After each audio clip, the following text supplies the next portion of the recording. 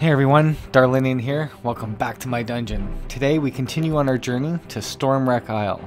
That's the latest and greatest starter set featured by Dungeons & Dragons. So you're looking at here the three remaining miniatures that I wanted to get to complete my set for Stormwreck Isle. So I was able to purchase all three of these unpainted miniatures at legendswarehouse.ca. Again, one of my top three stores that I promote. These guys were $5.79 each, so that's about the average price you would pay. The lowest I want to say I've seen is $4.99 or $4.79, and I think that's at 401games.ca. You're looking at the package, it's the front, so 3 inches wide by 5.5 inches high, and that is 1.5 inches deep. And all of them are the same. So I am going to actually paint all three of them in this one video, but I'm going to speed paint it. So I'm going to talk about each color as I do it, and then you're going to see me whip through it really quick. So let's go through the giant octopus. I believe this is called the Servant of the Myconids or something. So it's a specific creature in the actual adventure, but when I was looking up miniatures, there was nothing named that, but I did look at it and it looked like a giant octopus. So that's me improvising. Hopefully it works out.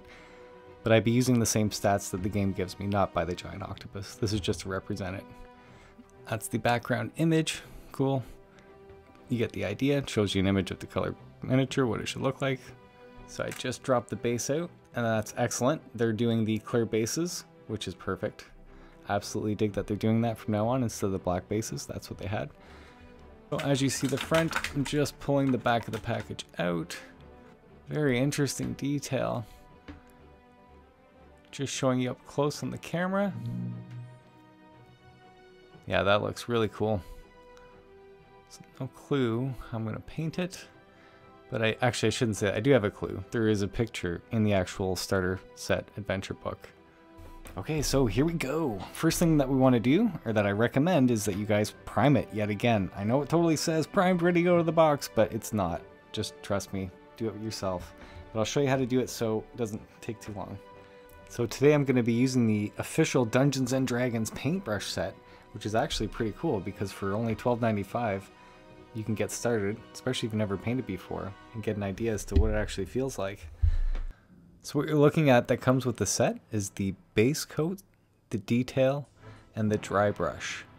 We're going to use the base coat for a lot of the miniatures mainly, just to get it on there, and then the details for detail. So I purchased just the brush on primer because I kept going through it when I bought the starter set, the adventures pack, whatever it's called. So I was able to find the Army Painter one, which was only, I believe, three to five bucks at the time. And it's the brush on primer, gray, which is the most neutral color you can find. So in the beginning, you just want to, without shaking it, release just a little bit on your plate or palette. If you see a little bit of liquid, that's okay, get rid of it. Once you squeeze a little bit out, give it a good shake, and then you want to check it out, see if it actually looks good. You'll be able to tell from the consistency whether it's not. So you just want to wet your base coat brush, what I do recommend actually is that when you do wet your brush, it's okay to add it to your primer. You don't have to completely dry your brush as you do it, especially with primer, because if you do let it be a bit runny, you can spread it way more than you would keeping it thick, unlike regular paint. So yep, I'm just gonna dilute it a bit. Okay, here we go. Now I'm gonna actually prime the entire creature. The giant octopus.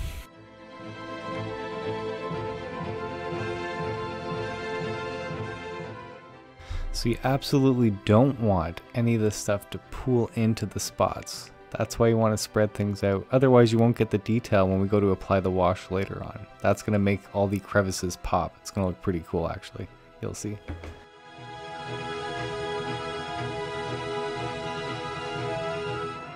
Kind of looks like the Hydra symbol or something, right?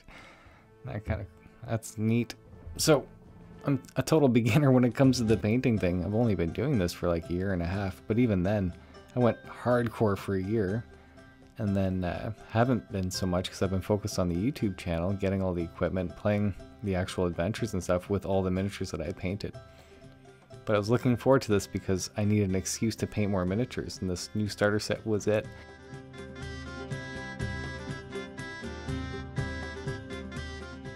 Yeah, there's something meditative about doing these little miniature paintings. It seemed intimidating to me at first because all the detail, but really they're such small objects that it doesn't take long at all to paint them. And then when you mess up, because it's hard not to sometimes, you just paint over top of it. Again, just let it dry and then correct it.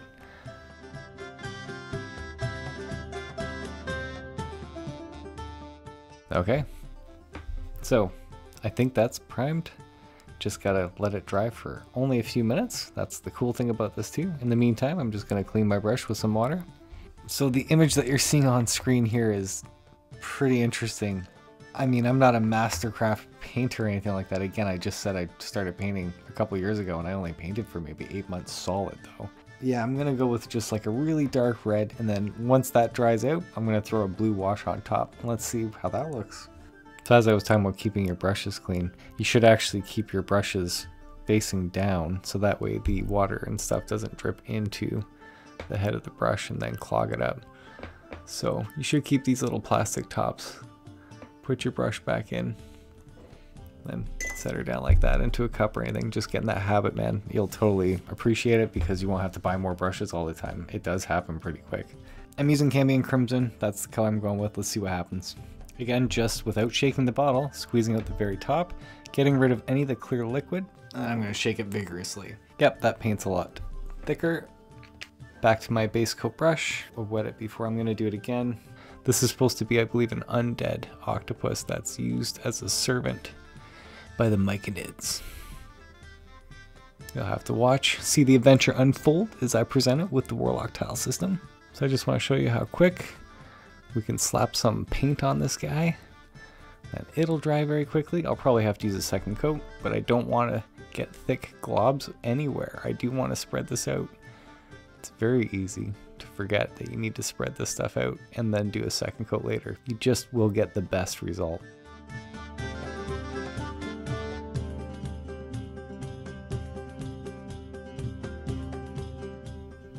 I will be painting these a different color on the bottom here after.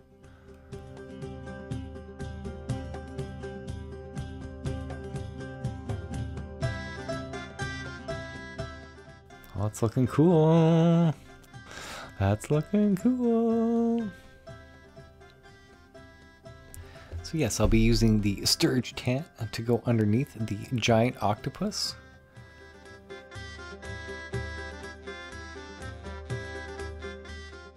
I want to be a little bit patient when it comes to the edges here because we do know we want to have it show as a separate layer.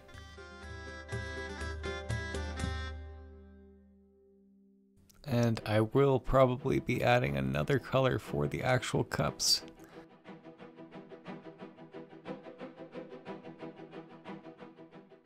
This will look way better after I get another coat on here, and it's worth it.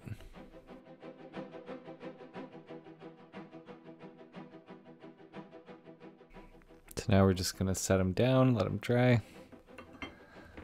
Wet the brush, clean it for a second. Looking for other spots and I'll show you what I can see so far while on the head there. Now that I look through the phone, that's crazy. Hmm. It's very cool to see this magnified if I have it in focus.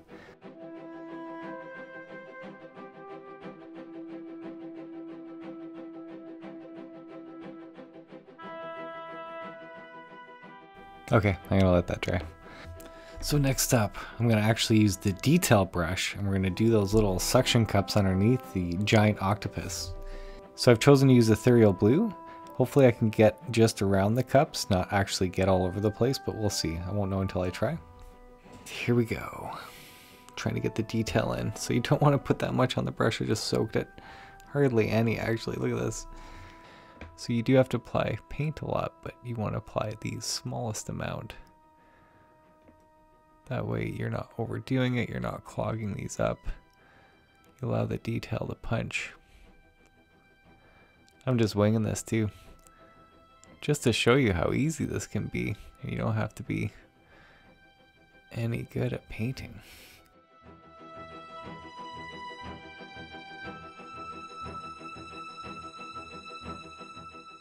Alright, so for the final touch, we're going to add a blue wash. So specifically, I believe this is going to give it that effect that you're seeing on the picture that I'm using as my inspiration. We'll see. Here's the blue wash. It comes in a set made by Army Painter.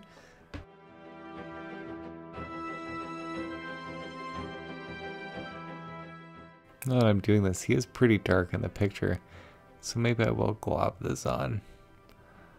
Not that you're supposed to. You're supposed to get in the little crevices and take your time, let it dry. But you know what? This guy's pretty blue toned, pretty dark. Let's just get him all over it. But I don't want to leave it blotchy, if that makes sense. Now I'm going to, even though he's wet on the top, I'm still going to go underneath. Because he looked like he had this everywhere. This undead look. It's all that effort to get these two pinks, but let's see what happens.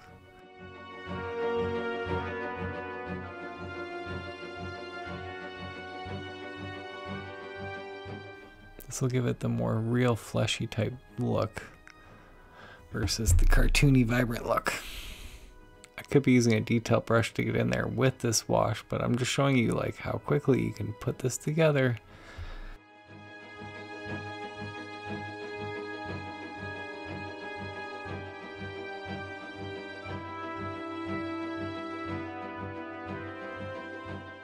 Okay, let's let this dry and then see what it looks like. You probably can't see it, but the eyeballs, I'm going to make them black.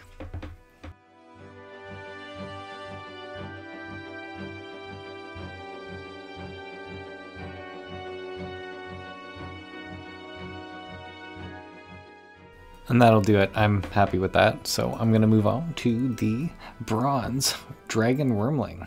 It is featured in the starter set, but none of the 2D mini set or the 3D printed heroes obviously featured any of this. So I had to get it. There's the image at the back.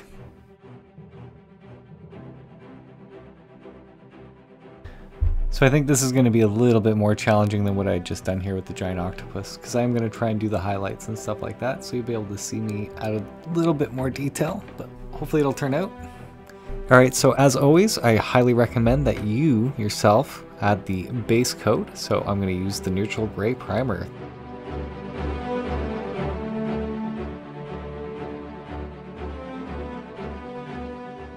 So I just completely painted him angelic yellow.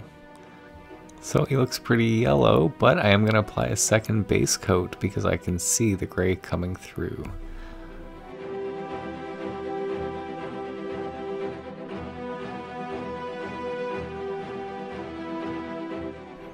So I'm going to actually be adding a third coat because I can still see the gray showing through and I want this to be a solid yellow before I continue.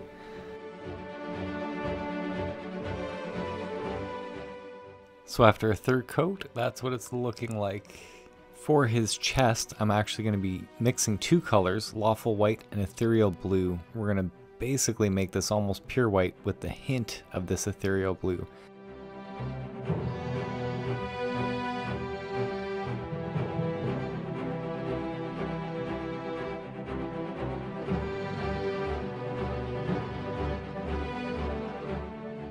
Now I'm going to try using Minotaur hide underneath the wing area that you're seeing in the photo.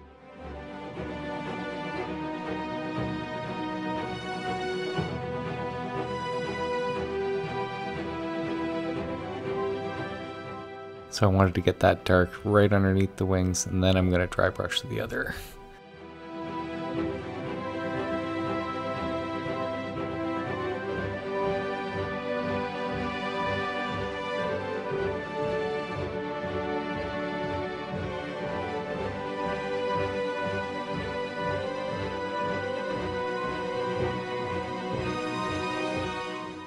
try that with some yellow.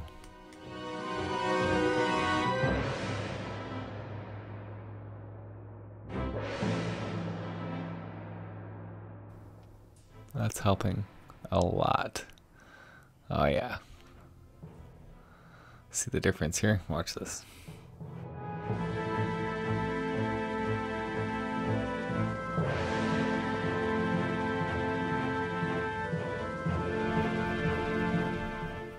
There we go. That's much better. So for his tongue, I'm just going to use an ethereal blue.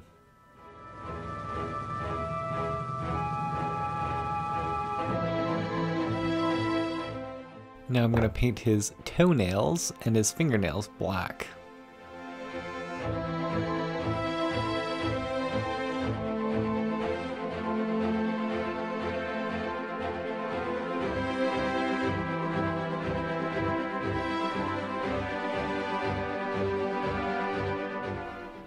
So now he's got some toenails and fingernails.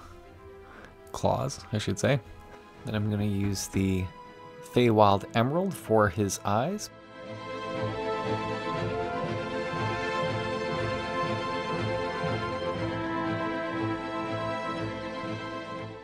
So we're going to use skeleton bone for his teeth.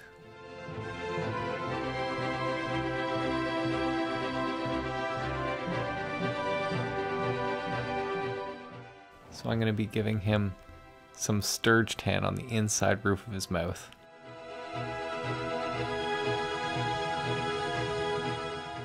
So now what I'm going to do is use the Ancient Mummy, and I'm going to put this on the highest raised areas in order to give them a highlight. Um, you can see, let's say the crown of his head, for instance.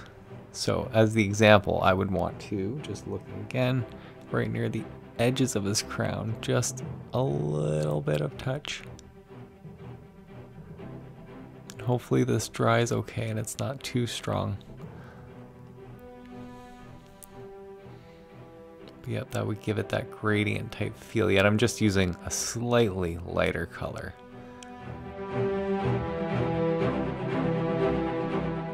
And the scales based on the image I'm using which is literally the image that we're referring to here, is the same pose. I mean, look at that. Pretty cool, eh? But once I get a green wash on the edges here, so for this, I'll be using the green tone by the Army Painter Quick Shade. It's a wash again. So now I'm going to get in the crown of his head. Right in the corners. Right in the crevice, excuse me just the crevice.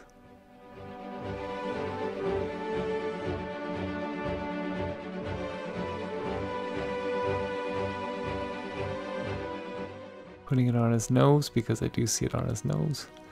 It's like a greenish tinge.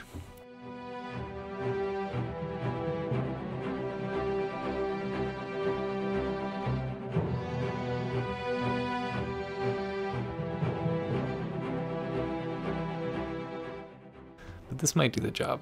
Well, it will do the job. I mean, he already looks like a bronze dragon Wyrmling. And now also along the tail. Just barely in between. Try and get just the spine sticking out if I can.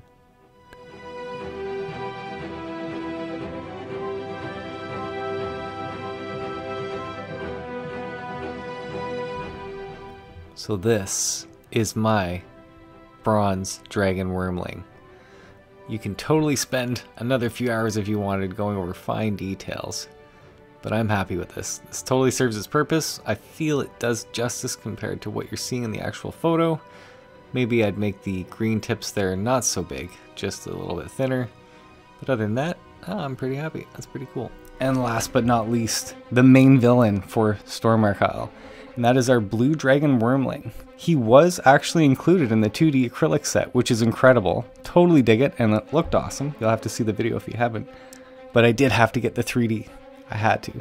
Always again, 3D printed over 2D. This will represent him. His face does not look like a gremlin the way the other one did, at least not in this render. Looks pretty dark. I wish this was brighter blue just to see, because again, very hard to see detail. But yeah, let's bust this open and get them done. So this is what we're looking at.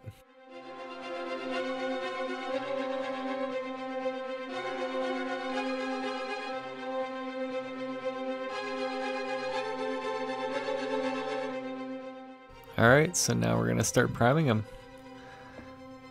So when I am priming him, what I should be doing technically is thinning this out because by thinning it out, it won't glob up and we'll be able to preserve some of the detail. On the bronze dragon wyrmling, I regret putting too much yellow paint on the neck and the body because I'm pretty sure there was some scales that are supposed to show through. I don't know if you can see this, but you can see the detail on his back. They're the finest little bumps. That, those are his scales. If I put too much paint on that, it won't show. It'll just be a solid body.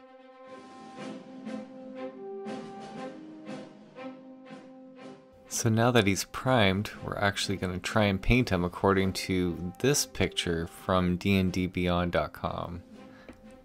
So I'm choosing, based on that photo, not necessarily the adult blue dragon because I feel it's more of a teal color. It looks darker in this image here and on the 2D acrylic. So I'm going to go with Kraken Blue because when I hold this beside that image, it seems to be the closest color that I have. This time I'm going to make sure that I don't put too much paint on his body, so therefore we can see, hopefully, his scales this time.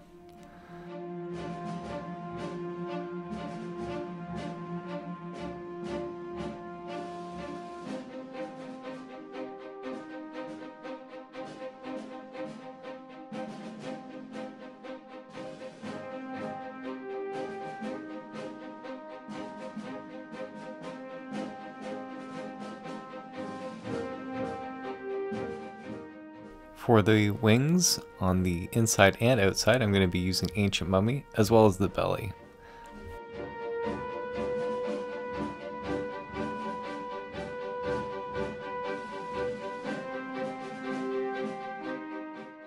Now I'm going to do a second coat of blue, but carefully, because it looks pretty good already, but there is stuff showing through. The second coat, I'm just going to do a bit of touch-ups on both colors until both are satisfactory. And then we'll get some washes onto it. Maybe I'll do his eyes after.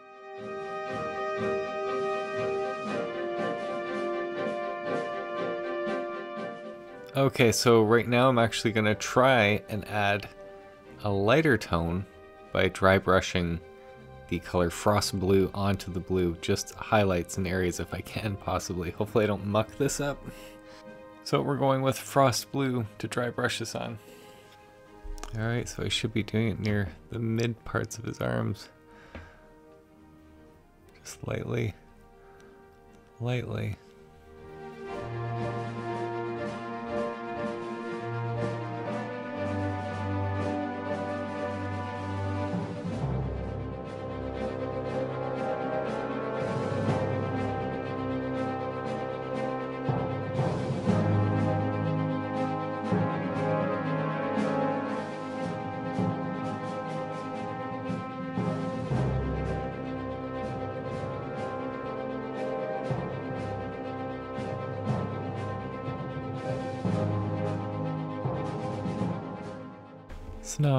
I did add those tones, I feel like it's even lighter. Let's go with a ghostly blue to accentuate even the lighter tones.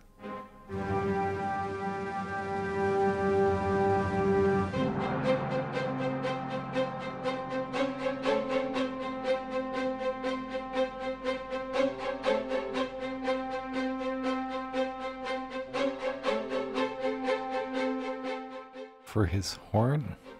It's because it's bone.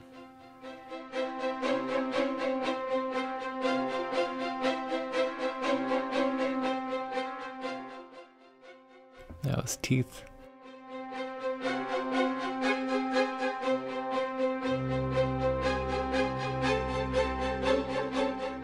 Now I'm going to try flesh wash on the inside of the wings.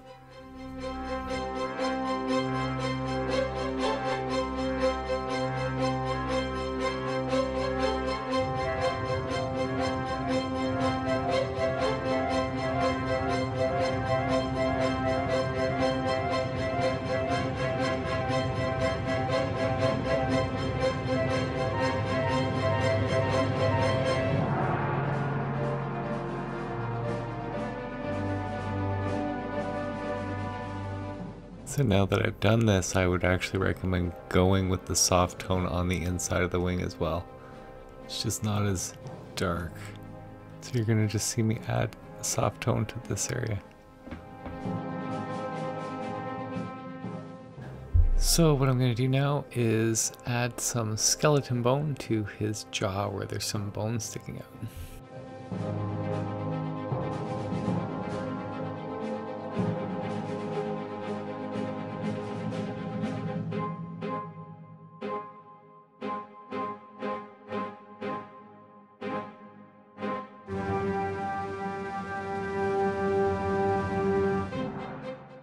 So now, the blue wash. See what I can do here in the crevices.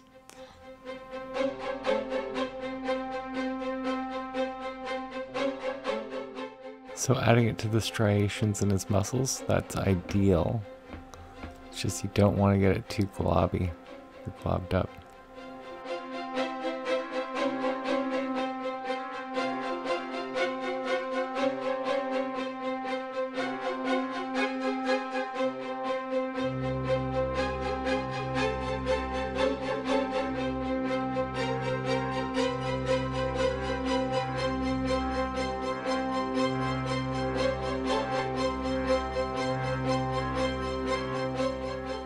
Dum dum. So there you go. Dragons of Stormwreck Isle. Coming soon. All three done. Ready to go. My preparation is now just reading the manual and building the actual maps. And you guys are going to see that very soon. Stay tuned.